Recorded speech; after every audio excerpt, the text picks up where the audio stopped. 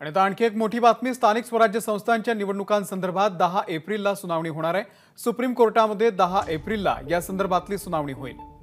तर ही सुनावणी वारंवार पुढे का ढकलली जाते या संदर्भात सुप्रीम कोर्टातल्या ज्येष्ठ वकिलांशी संवाद साधलाय आमचे प्रतिनिधी प्रशांत कदम यांनी. या संदर्भात बोलण्यासाठी याचिकाकर्त्यांचे वकील देवदत्त पालोदकर आणि शशीभूषण आडगावकर आता माझ्यासोबत आहेत. काय नेमकं आज म्हणजे खरं तर काल अपेक्षा होती की कामकाज होईल ते का होऊ नाही शकलेलं आणि आता नवीन तारीख काय?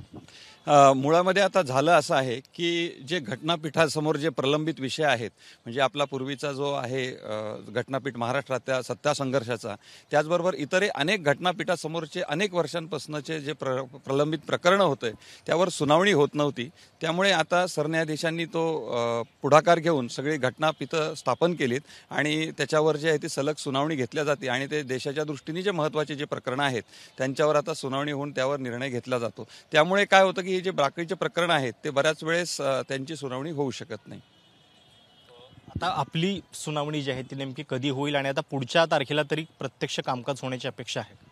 नाही आता काय मिसलेनियस डेला दहा तारखेला प्रकरण मान्य सरन्यायाधीशांनी ठेवायचे निर्देश दिलेले आहेत.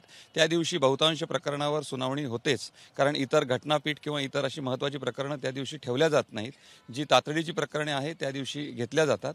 त्यामुळे दहा एप्रिलला या प्रकरणावर सुनावणी होणं अपेक्षित आहे. जर ओबीसी आरक्षणाला तत्वत मंजुरी आहे सुप्रीम कोर्टाची त्याच्यामध्ये काही अडचण नाही आहे तर मग ब्याण्णव नगर परिषदांचा मुद्दा इतका लांबण्याचं कारण नाही बेसिकली आता जे खंडपीठासमोर जे बाकीचे मॅटर्स पेंडिंग आहेत जे आता पाच जजेसचं बेंच जे आहे सध्या बसलेलं आहे त्या त्याच त्या मॅटरची सुनावणी चालू असल्यामुळे हे मॅटर घेतलं नाही. अदरवाईज दुसरं काही त्याला काही बेसिकली कारण नाही आहे न न हिअरिंग होण्याचं.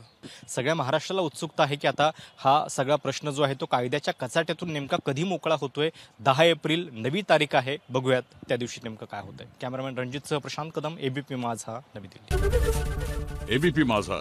उघडा डोळे बघा नीट.